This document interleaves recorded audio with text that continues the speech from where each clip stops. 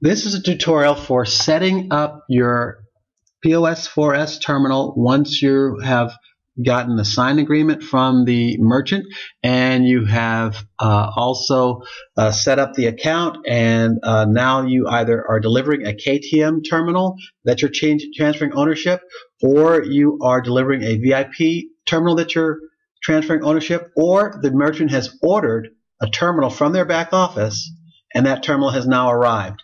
Uh, they could do this or you could do this, but it's best if you come back to the store and help them set this up, uh, even if they ordered their own terminal from their own back office.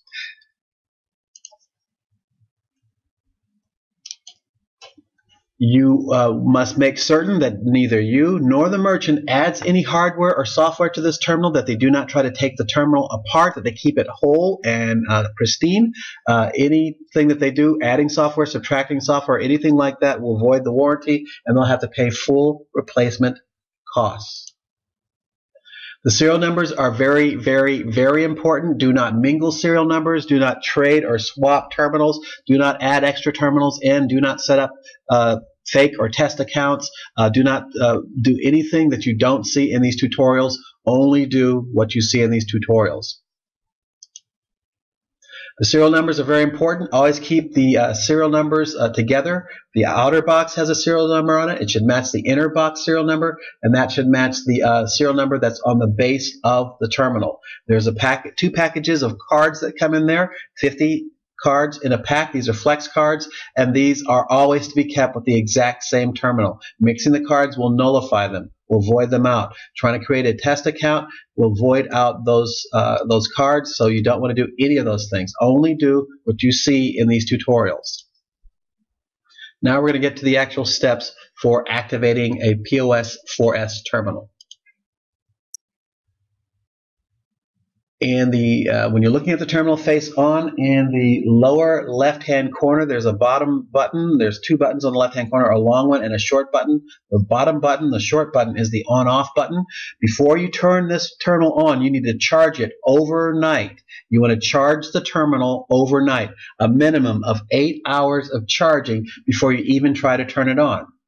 So before you even try to turn on the terminal you want to charge it overnight a minimum of eight hours. If you uh, don't charge it overnight, then you're going to generate errors that are going to delay the terminal being activated. You can add extra days onto this if you don't do this procedure. So you take the terminal out of the box and you charge it for a minimum of eight hours. Best to do it overnight. Then once you've charged it for eight hours, then you hit the uh, bottom button.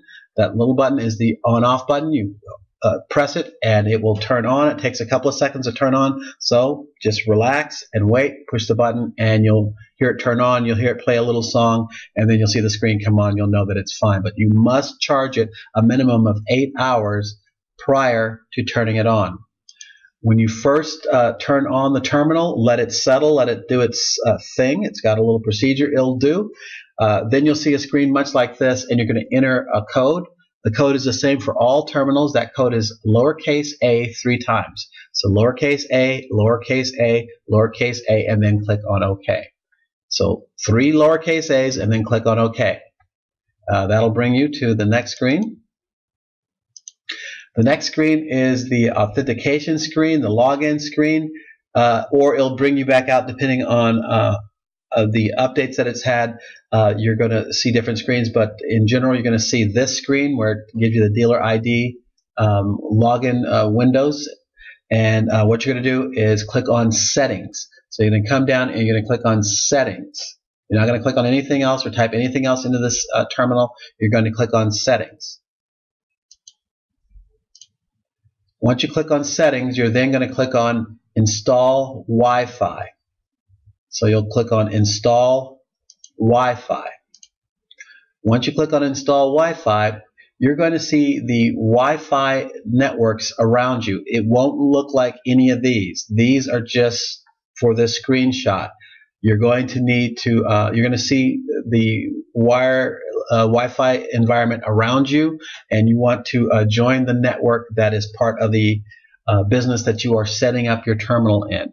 Uh, so if you don't see anything, then uh, click on the refresh button and then look for the Wi-Fi that is associated with this merchant that you are uh, lo- setting up.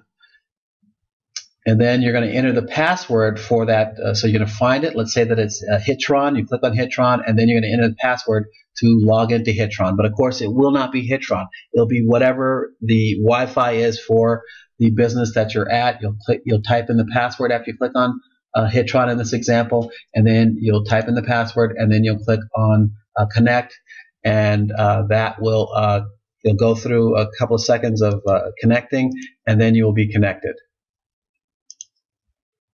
So next, it'll say um, that it's uh, it has found the Wi-Fi and it's installed it, and it'll say connected to, in this case, Fritz Box Fon Wan Lan. There you go.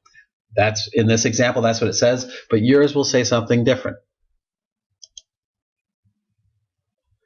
All right, and then you're going to enter the um, the merchant ID number or the dealer ID number uh, that's going to be a different number than 4351. You're not going to enter 4351 if you're setting up your terminal for a real live merchant. It's going to be a different dealer ID number. You're going to type in that ID, dealer ID number and the password that was created when you created that dealer ID account. So in the case where you're setting this up in a real merchant for real, you're going to type in whatever that dealer ID number is that you created and um, the password associated with that. If you're just doing this to set up a test account on your your demo terminal, then yes, you do use the dealer ID number of 4351 and the password of 123456. That is the test account. If you want to demo your terminal to show partners or merchants how it works, that is what you use, dealer ID number 4351, password 123456. However, when you're setting up your terminal in a real store, a real Flex Kobe, a real merchant, then you want to use the real dealer ID number and the real password. Once you do that, you hit login and once you log in, uh, you'll see these options. Uh, in general, these are the uh, only options that you need. And in order to uh, start using the uh, system, then you'll just click on checkout. When you click on checkout, then you're uh, doing creating a transactions um, based off that dealer ID number. And um, the QR code, the QR invitation, you're now using the static QR code for that terminal in that store, so they can kiss away, kiss like crazy. Uh, check balance is uh, where they check the amount of uh, flex monies or, uh, on, the, on, on, the flex card. And then uh, settings is how you get back to um, the um, the screen to set up the uh, Wi-Fi, or if you, you received your Bluetooth printer, that's how you would connect that and so forth and then log out is log out. You'll be logging out. Uh, and you don't have to log out every night. You can leave it logged in and just power it down or whatever. In general, you want to have the terminal plugged in. Uh, during the uh, business hours, you want to have it plugged in and next to the uh, cash register. You don't want to unplug it and have it operating off batteries because the batteries may uh, die uh, throughout the day. Whereas if you leave it plugged in, that'll be perfectly fine for the batteries, perfectly fine for the terminal to be on all day. We have uh, terminals here that have been plugged in for uh, three, four months and never been turned off, and they're perfectly fine.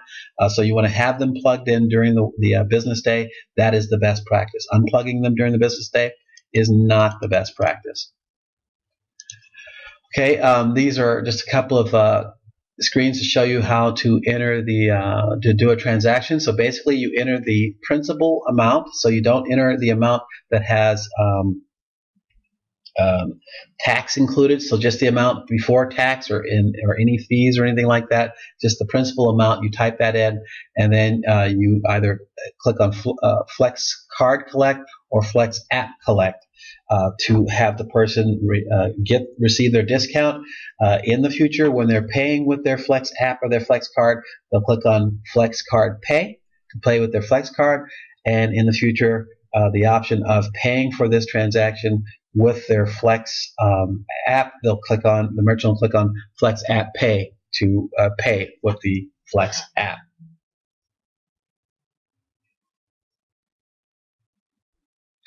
All right, looking at the uh, procedure to uh, kiss a customer with the terminal, the customer will go to um, the iPhone store, the Android store, and download the Flex Card app, and they will uh, install that, download it, and install it on their phone. And then once it, uh, they'll uh, they'll click on scan, and then they'll scan the QR code that is uh, generated when the um, merchant clicks on uh, QR code. So to generate a QR code to kiss somebody, uh, they'll click on that generate QR code, and then they will generate the QR code. The customer will download and install the Flex Card app, and then uh, scan this QR code, and then they'll have to uh, go through a couple more steps on their phone, adding their email address, and um, and then they'll be a customer. So they must complete that step of adding their email address in order to become a customer or the uh, merchant can hand them a flex card and activate that flex card.